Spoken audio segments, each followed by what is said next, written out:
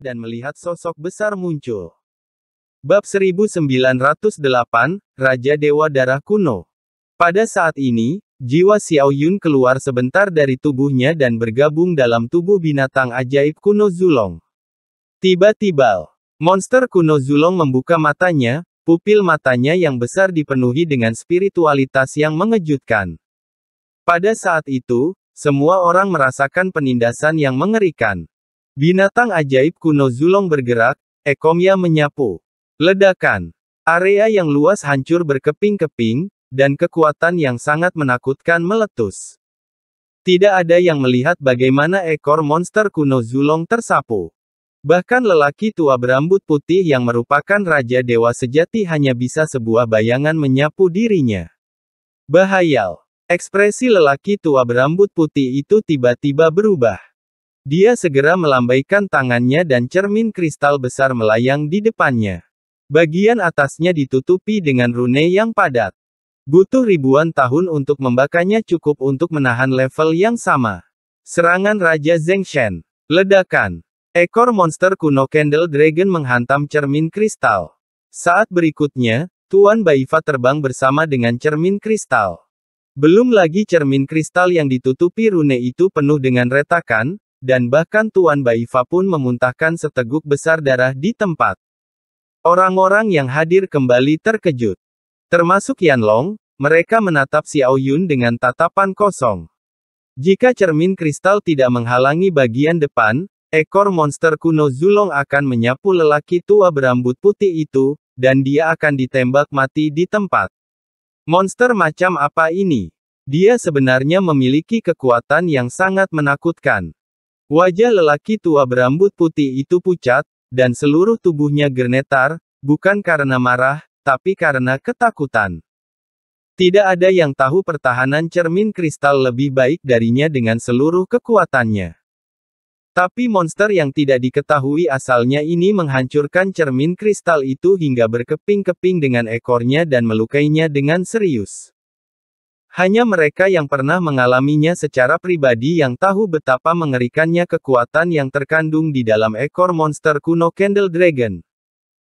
Balze menyaksikan dengan acuh tak acuh di wilayah rahasia kuno tidak ada yang tahu kekuatan Zulong dan monster kuno lainnya lebih baik dari dia faktanya, Xiao Yun hanya menggunakan sebagian kecil dari kekuatan Zulong. Dan tidak sepenuhnya memahami kekuatan sebenarnya dari Zulong kekuatannya keluar.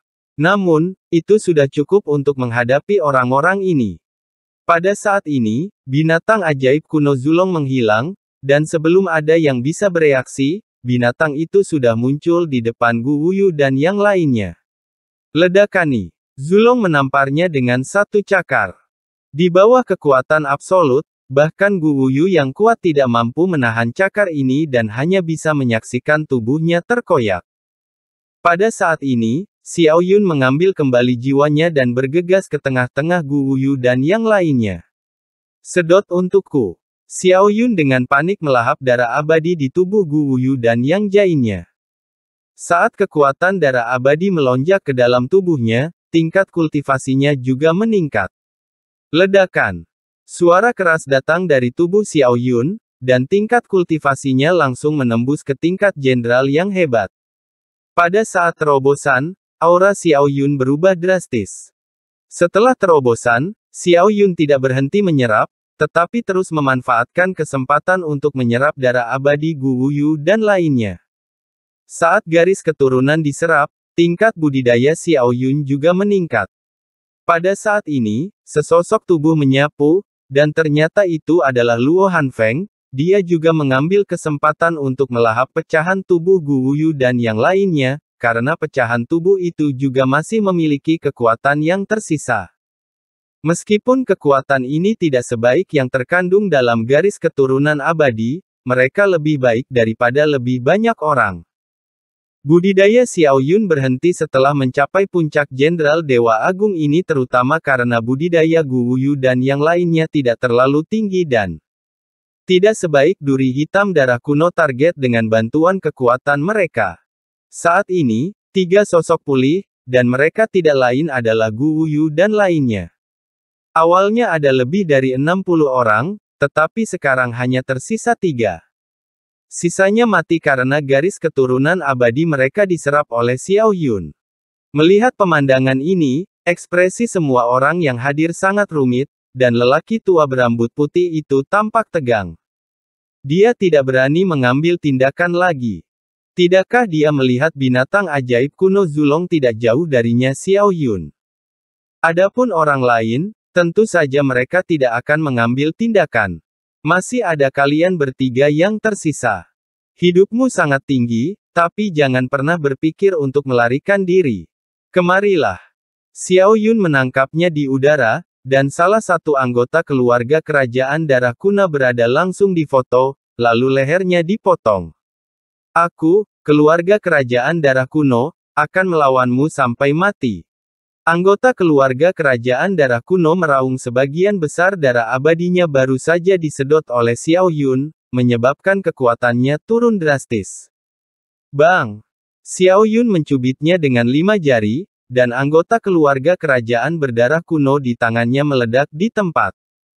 Setelah sisa darah abadi diserap ke dalam tubuh Xiao Yun, orang-orang dari klan kerajaan darah kuno tidak dapat pulih lagi, dan aura mereka menghilang di tempat.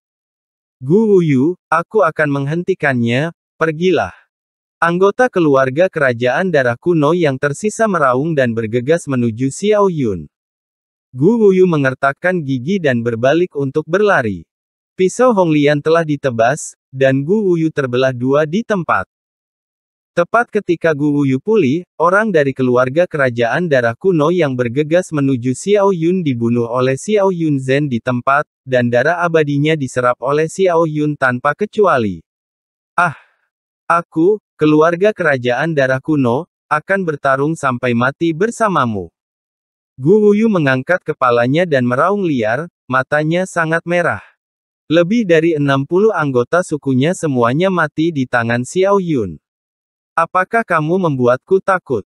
Kamulah yang ingin membunuhku terlebih dahulu, dan sekarang aku membunuhmu, tetapi kamu terlihat seperti korban betapa kamu ingin menjadi tidak tahu malu. Xiao Yun mencibir. Pada saat yang sama, pisau Xiao Yun telah menembus kepala Gu Wuyu. Tepat ketika Xiao Yun hendak menyerap darah abadi Gu Wuyu, dia tiba-tiba merasakan bahaya mati lemas. Saat berikutnya, jiwa Xiao Yun memasuki tubuh binatang ajaib kuno Zulong lagi. Ledakan. Pola hewan purba muncul di tubuh monster kuno Zulong saat pola hewan muncul, fluktuasi kekuatan yang lebih mengerikan melonjak di tubuhnya. Aduh. Monster kuno Zulong mengangkat kepalanya dan menyemburkan bola api naga yang sangat panas. Api naga menembus kehampaan, dan api yang mengerikan itu hampir melelehkan segalanya. Sesosok besar muncul dan menamparkan api naga dengan satu tangan, menekan api naga dengan paksa. Raja Dewa Agung yang garis keturunannya telah berubah sembilan kali. Meskipun hanya bayangan, ia tidak lemah lagi. Jika Xiao Yun hanya bisa mengerahkan setengah dari kekuatan Zulong, hanya 30% dari kekuatannya akan cukup untuk menghancurkan ini, bayangan. Sedangkan untuk tubuh aslinya, 80% kekuatan sudah cukup untuk membunuhnya. Gumam Baize. Dalam analisis terakhir, level jiwa Xiao Yun masih belum cukup. Jika dia mencapai level Kaisar Dewa Jiwa, dia bisa melepaskan kekuatan penuh Zulong. Bagaimanapun juga, tubuh monster kuno Zulong bukanlah tubuh Xiao Yun sendiri bahkan jika ia memiliki kendali jiwa setingkat Raja Dewa Jiwa, ia hanya dapat bertahan untuk sementara, apalagi menghadapi Raja Dewa Agung yang sangat menakutkan sekarang. Para penonton sangat terkejut. Meskipun hanya tubuh Raja Dewa Agung yang muncul, cukup mengejutkan bahwa binatang ajaib kuno Zulong dapat memblokir serangan lawan. Pantas saja anggota klan yang berani membunuh Raja Dewa Agung ini mendapat dukungan seperti itu. Namun, jika Anda hanya memiliki kemampuan ini dan berani bertindak merajalela di depan Raja Dewa Agung ini, Anda benar-benar tidak ingin hidup atau mati. Bentuk tubuh Raja Dewa Darah kuno menjabat tangannya. Terkejut, api naga yang dimuntahkan oleh naga lilin padam. Tangan raksasa itu turun, termasuk Xiao Yun dan yang lainnya, dan mereka semua diselimuti bayang-bayang Raja Dewa Darah kuno. Bab 1909, Dewa Agung Raja Yanwu mengambil tindakan. Nyanyian. Niat pedang kuat yang tak tertandingi meletus dari tubuh Hong Lian. Seluruh tubuhnya seperti pisau, dan niat pedang aslinya langsung berubah dan mencapai tingkat yang lebih tinggi. Niat pedang yang menakutkan menyebar ke mana-mana, dan aura Hong Lian mengalami perubahan yang mengejutkan. Niat pedang teratai merah yang mengelilinginya menjadi berkali-kali lipat lebih kuat. Transformasi ke-9. Dan itu adalah transformasi niat pedang yang sangat kuno, Tuan Muda Chen dan yang lainnya memandang Hong Lian dengan heran, tidak menyangka Hong Lian akan menerobos saat ini. Pada saat terobosan, tingkat kultivasi Hong Lian juga meningkat pesat kekuatan baru terus mengalir keluar dari tubuhnya, dan terus meningkat dengan cepat. Dalam sekejap, tingkat kultivasi Honglian menembus lagi. Raja Dewa Semu, Tuan Muda Chen dan yang lainnya terkejut. Bahkan jika transformasi jalur pedang kuno mencapai kesembilan kalinya, Honglian benar-benar dapat menembus belenggu dan langsung mencapai tingkat Raja Dewa Semu. Itu adalah Yanlong terkejut ketika dia melihat lampu merah aneh berkedip di tubuh Honglian. Yang lain tidak tahu apa itu, tapi dia tahu bahwa itu adalah sumber kekuatan yang telah dipadatkan oleh Raja Dewa Agung Yanwu selama ribuan tahun bertahun-tahun. Tanpa diduga, saudaranya, Raja Dewa Agung Yanwu, akan menyerap sumber kekuatan yang berharga bagi Hong Lian. Tidak heran budidaya Hong Lian meningkat begitu cepat. Ledakan. Segel hukuman ilahi langit dan burni melonjak dari tengah alis Hong Lian, dan kekuatan hukuman ilahi yang bahkan lebih mengerikan melonjak dengan gila-gilaan dari tubuh Hong Lian. Satu pisau. Teratai merah berubah menjadi pedang dan menebas tangan raksasa Raja Dewa Darah kuno. Meskipun hanya ada satu pedang, tangan raksasa Raja Dewa Darah kuno terbelah dengan bekas. Apa? Para penonton terkejut. Terutama para tetua. Meskipun ini bukan tubuh Raja Dewa Darah kuno, Melainkan bayangan tubuh Raja Dewa Darah kuno, pedang Hong Lian dapat melukai bayangan tubuh, yang cukup untuk menunjukkan betapa menakutkannya kekuatan pedang ini. Perbedaan dalam kultivasinya terlalu besar. Jika dia adalah Raja Dewa sejati, kekuatan pedang ini akan cukup untuk menghancurkan Raja Dewa Darah kuno. Pisau yang mengerikan. Segel hukuman ilahi dari langit dan bumi sebenarnya sangat kuat. Ekspresi banyak tetua menjadi rumit. Segel hukuman ilahi langit dan bumi terlalu kuat. Hong Lian, yang hanya seorang raja kuasi dewa, dapat merusak tubuh Raja Dewa Darah kuno dengan satu pisau setingkat Raja Dewa sejati, bukankah mungkin memiliki modal untuk bersaing dengan Raja Dewa Agung? Sosok Raja Dewa Darah kuno memandang Hong Lian secara tak terduga, matanya yang berwarna darah menunjukkan sedikit ketakutan, dan kemudian niat membunuh muncul. Kamu berani menyinggung Raja Dewa Agung ini, kamu mencari kematian. Sosok Raja Dewa Darah kuno langsung menamparkan Hong Lian dengan telapak tangannya. Karena dia memiliki niat membunuh, kekuatan telapak tangan ini bahkan lebih mengerikan. Meskipun Hong Lian membuat terobosan, tingkat kultivasinya terlalu berbeda menghadapi telapak tangan Raja Dewa Darah kuno, dia hanya bisa membuat satu pilihan. Yaitu melakukan yang terbaik untuk melindungi Xiao Yun. Segel hukuman ilahi di antara alis Hong Lian menjadi semakin jelas tidak baik. Ekspresi Yan Taki tiba-tiba berubah. Hong Lian ingin mengaktifkan sepenuhnya kekuatan segel hukuman ilahi langit dan bumi meskipun melakukan hal itu akan mendapatkan kekuatan yang lebih kuat, budidaya dan kekuatan Hong Lian tidak dapat mendukung kekuatan ini sama sekali, pasti akan meledak dan mati. Kamu berani membunuh putriku. Suara yang mendominasi dan arogan datang, dan sosok Dewa Agung Raja Yanwu muncul, menunjuk ke telapak tangan raksasa sosok Dewa Agung Raja Darah Kuno. Telapak tangan raksasa yang mengandung kekuatan mengerikan itu langsung ditembus dengan satu jari, dan seluruh tubuh lengannya meledak di tempat. Melihat adegan ini, semua orang yang hadir terkejut. Di luar dugaan, sosok Dewa Agung Raja Yanwu akan sekuat itu. Bahkan sosok Raja Dewa Agung Darah Kuno pun tak mampu menahan kekuatan satu jarinya. Saudaraku Yanlong tampak terkejut. Yang lain melihat pemandangan ini dengan ekspresi rumit. Pantas saja Dewa Raja Yanwu disebut sebagai pemimpin Raja Dewa di kota Kekaisaran Dewa Kuno. Dia memang sangat sakti Pangeran Singmu memandang sosok Dewa Raja Yanwu dari kejauhan, matanya penuh kerinduan, menatap ke depan tentang apa yang bisa dia lakukan di masa depan. Sama seperti Raja Dewa Agung Yanwu.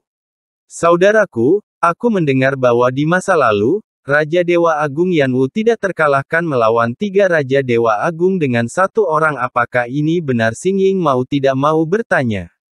Memang ada Pangeran Singmu menjawab. Dengan kekuatan satu orang untuk bersaing dengan tiga Raja Dewa Agung, Raja Dewa Agung Yanwu ini terlalu kuat. Sing Ying mau tidak mau berkata. Kata-katanya penuh dengan kekaguman pada Raja Dewa Agung Yanwu. Anda harus tahu bahwa mereka yang bisa menjadi dewa dan raja yang hebat semuanya adalah tokoh-tokoh top, dan kesenjangan kekuatan antara tokoh-tokoh top ini tidak terlalu besar. Sama seperti Tuan Muda Sing Chen dan Putra Mahkota Singmu, hanya ada satu perbedaan di antara keduanya, dan jaraknya tidak terlalu besar. Yan Wu, beraninya kamu menghentikanku. Kata sosok Raja Dewa Darah Kuno dengan marah. Bagaimanapun, lengan kanannya hancur oleh sosok Raja Ilahi Agung Yan Wu. Itu sudah sangat memalukan di mata semua orang. Kamu ingin membunuh putriku, kenapa aku tidak bisa menghentikanmu? Jika kamu berani mengambil tindakan lagi, aku akan bunuh diri dan pergi ke keluarga kerajaan darah kuno. Siluet Dewa Agung Raja Yanwu berkata dengan dingin. Anda. Sosok Raja Dewa Darah Kuno begitu marah hingga wajahnya berubah menjadi hijau, namun Ahimya dia menahannya, baiklah, kami akan melunasi hutang atas kerugian putrimu kepadaku hari ini. Anak itu membunuh banyak anggota klan kerajaan darah kunoku. Dia harus mati hari ini. Selama aku di sini, jangan pernah berpikir untuk menyentuhnya. Sosok Dewa Agung Raja Yanwu berkata dengan acuh tak acuh. Yanwu, apakah kamu benar-benar berpikir aku takut padamu? Sosok Raja Dewa Darah Kuno berkata dengan marah, apakah kamu benar-benar akan memulai perang antara dua keluarga kerajaan karena anak itu? Pertempuran antara dua klan kerajaan. Apakah kamu membuatku takut? Apakah aku takut padamu? Apakah kamu pikir aku tidak tahu apa yang terjadi? Jelas anggota klanmu yang membunuhnya terlebih dahulu, dan Xiao Yun baru saja melawan. Anggota klanmu mati di tangannya, kamu hanya bisa menyalahkan anggota klanmu karena kurangnya kekuatan mereka. Sosok Dewa Agung Raja Yanwu berkata dengan dingin, jika dia mati di tangan sukumu, itu karena kekurangan kekuatannya sendiri dan tidak ada orang lain yang bisa disalahkan. Sebelumnya, aku tidak ikut campur, tapi kamu datang untuk campur tangan, dan sekarang kamu masih apakah kamu benar-benar mengira aku buta ketika kamu menyalahkannya? Mendengar kata-kata Raja Ilahi Agung Yanwu, Tiying, wajah Raja Ilahi Darah Kuno Agung Tiying tidak bisa menahan diri untuk tidak bergerak beberapa kali. Dia secara alami tahu bahwa orang-orang dari klan kerajaan darah kuno salah pertama. Pada hari biasa, bahkan jika itu adalah sebuah kesalahan, orang-orang dari klan kerajaan darah kuno harus dibunuh terlebih dahulu. Tapi itu tidak berhasil sekarang. Bayangan Raja Dewa Agung Yanwu melindungi Xiao Yun, dan bayangan Raja Dewa Agung Darah Kuno tidak bisa membunuh Xiao Yun. Yang paling penting adalah Dewa Agung Raja Darah Kuno takut pada Dewa Agung Raja Yanwu. Ada sesuatu di tangan Dewa Agung Raja Yanwu yang menahan keluarga kerajaan darah kuno mereka dan juga menahannya awalnya, Dewa Agung Raja Yanwu jauh lebih kuat dari Raja Dewa Agung lainnya Raja Dewa Yanwu dan Yanwu jika Raja Dewa Agung berhadapan, dia akan menjadi lebih rentan. Inilah sebabnya mengapa Dewa Agung Raja Darah Kuno, yang selalu sombong dan mendominasi, tidak terlalu kuat melawan Dewa Agung Raja Yanwu. Tapi setidaknya kamu harus memberiku penjelasan Raja Dewa Darah Kuno berkata dengan suara yang dalam. Jika Raja Zheng Shen ke atas mengambil tindakan, saya akan turun tangan. Di bawah Raja Zengshen, Anda dapat melakukan apa pun yang Anda inginkan. Selama Anda bisa membunuhnya, saya akan mengabaikannya. Inilah yang kamu katakan Dewa Agung Raja Darah Kuno menatap Dewa Agung Raja Yanwu. Kamu bisa melakukannya, lakukan saja, aku tidak akan menghentikanmu Dewa Agung Raja Yanwu melirik Xiao Yun, lalu menarik pandangannya. Mirip seperti dia. Orang itu sepertinya memiliki dua nama keluarga, satu adalah